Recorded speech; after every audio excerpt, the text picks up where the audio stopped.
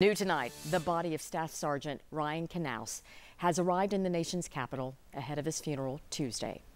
This is aerial video of the procession escorting his body just outside Washington, D.C. People stop to wave flags and hold signs honoring along the way. 23 year old Knauss was an East Tennessee native who graduated from Gibbs High School. He died late last month in a bombing at the Kabul airport as he and other troops worked to evacuate people. He and the 12 other service members who died were all posthumously awarded the Purple Heart.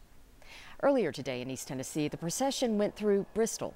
This video shows police and fire departments honoring Knauss along the way as an American flag hung over the interstate. Again, Ryan Knauss will be laid to rest Tuesday at Arlington National Cemetery. We will bring you full coverage next week from Washington, D.C.